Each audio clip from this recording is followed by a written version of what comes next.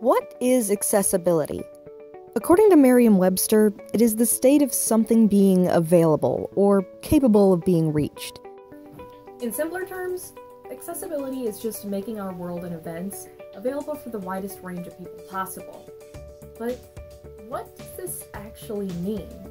And what does it mean for theater creators, performers, and audience members? Especially in a world where accessibility is becoming a more and more important conversation to have. Hi, my name is Julia Peterson, and this is Access Design with Global Hive, where we aim to answer those questions one accessibility tactic at a time. Today we're going to be talking about touch tours and audio description, two ways of making any show more accessible for people with any type of visual impairment. Audio description may be a term some of you are already familiar with, as it is an accessibility tactic employed for film and TV as well. According to the American Council of the Blind, audio description is a form of narration that describes the literal actions taking place on the stage or screen, alongside the regular soundtrack and audio for the show. Audio description includes describing the size, colors, and placement of the set, along with the physical descriptions of actors, their facial expressions, and their actions and movements during any given scene. For example, let's take a look at the introduction of Global Hive Laboratories' Medusa, in which the actors describe themselves for the benefit of the audience. I am standing in a wide space. The space is 11 feet deep by 23 feet wide. The floor and walls are black. The audience is seated in front of me, to my right, and to my left. Six other performers join me in the space.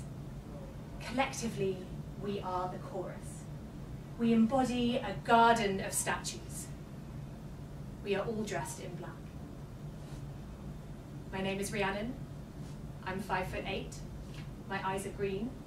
My hair is dark blonde and cropped short. My skin is pale.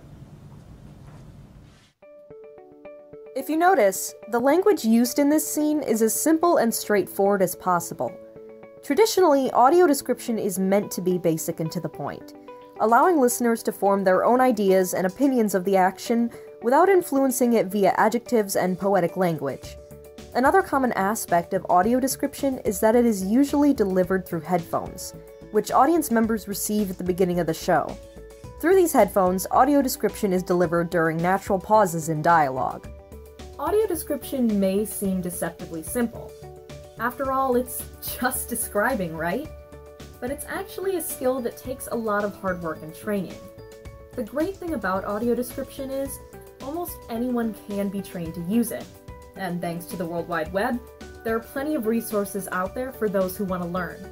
I'm going to be leaving a couple links down in the description for resources about audio description and I highly recommend checking out the audio description project on acb.org slash adp if you want to learn more. Touch tours, meanwhile, are a more tactile way of helping audience members who are blind or low vision experience what is happening on stage. It's exactly what it sounds like. Touch tours are tours held usually about an hour before a show, where audience members are invited on stage to feel around the set and are told about important visual cues in the show beforehand. Touch tours go hand in hand with audio description in making a complete, accessible theater experience for people with low vision. To get a better idea of how touch tours work, I spoke to Iris Sowlat, a Chicago based director and theater creator who has run tours for her own shows and for others.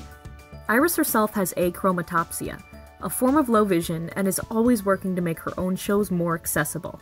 So I am familiar with like the methodology of leading people who are completely blind around a stage and like showing them the key props. Volunteers can lead the patrons onto the stage and they can walk around the parts that are safe enough to walk around. Usually they're free to like touch the scenery to get an idea of how it feels. And then with any significant props or costume pieces where like it's a thing that they're going to use like in um like the show i production managed it was for a company called pride films and plays and it was called the roller derby play we passed around like one of the helmets that was used and a few other props and so usually like a touch tour includes patrons holding and touching the props with their hands so yeah, that's that's what a touch tour usually includes.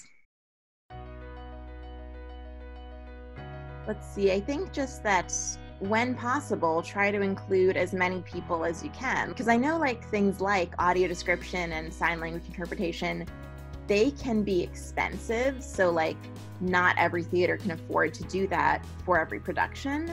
But if your theater is one that has the resources, like, make that a regular part of your season. And, like, from what I've observed, if theaters make that a regular thing where they make sure they have like one audio described performance per show, then they start to build that following and they do become known in the community as a theater that values accessibility. So, also, like, theaters can always just ask people who have um, visual impairments or people who are deaf or people who have any disability about what accessibility they need because um, that's because they're the ones who are using it. Well said, Iris. If you're interested in touch tours and want to learn more, go to artbeyondsight.org for an introductory course in how touch tours work and how you can integrate them into your own shows. I'm Julia Peterson, and this has been Access Design with Global Hive. Tune in next time where we talk about more accessibility tactics that you can use and encourage in your own theater communities. Special thanks to Iris Sowlat for her wonderful interview. I will be linking her website down in the description so that you can check out some of her shows. Make sure to follow Global Hive on Facebook, Instagram, and Twitter, and check out our website at globalhivelabs.org. Thank you so much for watching, and see you next time!